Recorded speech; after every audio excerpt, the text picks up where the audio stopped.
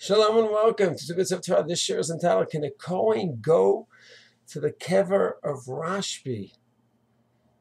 Meron on Lag BaOmer, or any time for that matter. Can a Kohen go to Marata Machpelah? Kever Rachel, the Rambam's kever. Basically, the question is do we say the kever of a tzaddik is not Tameh? Now you say tzaddikim are holy, but what does that have to do with Tumah and Taharah? So it's fascinating sources on this topic. Chinuch on Parshat Emor says the whole reason for Tumah Taguf when a person dies, it's the highest level of Tumah because it's a body without a soul, the body the source of all the Yetzer Hara, all the problems, all the sins. That's it. When the soul is there, justifies the synthesis. But now that's it. The problems began with that object.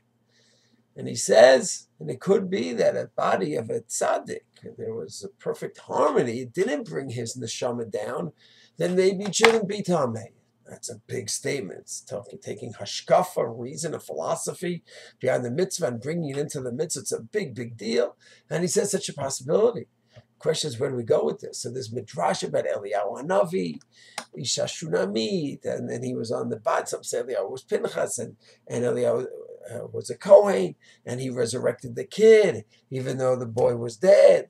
And some say, no, really wasn't dead. It, uh, he was just very, very uh, sick and almost dead. And some say he was dead, but it was Pikuach Nefesh to resurrect someone. Some say we can't rely on a miracle. A Kohen couldn't do such things. Some say because we Hashem, he was allowed.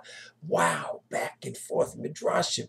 But Eliyahu being a Kohen, and he, he did have contact with a uh, with a dead person, and maybe he was involved in the burial of Rabbi Akiva different midrashim. So where do we come out with all this? The bottom line is, the bottom line is, in terms of the Rishonim fasting discussions in Tosfos, throughout Shas, Ramban on the Torah, Ramban on Shas, discussions all over the place. Some want to say that you have a tzaddik that dies is tamei, but if he dies through the shikah, through a divine kiss, so to speak, that process of death doesn't create tamah, which of course there's only a few in our history. Moshe Aaron, Miriam, but uh, Stam Tzaddik would be. But the bottom line is with all the different discussions in the Midrashim and the Rishonim, usually we talk bottom line, halacha, talk about Rambam, Rif, Rosh, Shulchan Aruch, or Zarua, the classical poskim, and none of them have any permit whatsoever. None of them say, yes, a tzaddik's body is not tamei, Kohen could be there. They don't say that. It's brought down in the poskim first. The Pitchei Teshuva in the 1800s mentions it in the commentary on the Shulchan Aruch Yoreh De'ah Shin Ayin Bed Bed. The Yoreh De'ah, the Pitchei Teshuva mentions it over there. He says he hears the name of the Batei Kehunah, the the Sefer mentions possibility, but he rejects it. Pitchei Teshuva. Kitzur Shulchan Aruch is against it. The Chochmat Adam is against it. So you have fascinating discussion thousands of years ago about it the classical poskim don't have it. The more recent poskim of the century clearly prohibit it.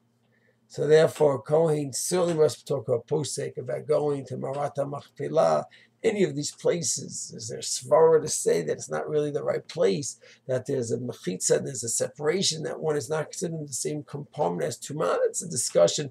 Everyone should talk to posek, but the simple assumption is that all because the person was a great tzaddik does not mean he is not Tameh. The simple assumption the poskim is that person, in the body is Tameh, and therefore Kohen should avoid it. Shalom.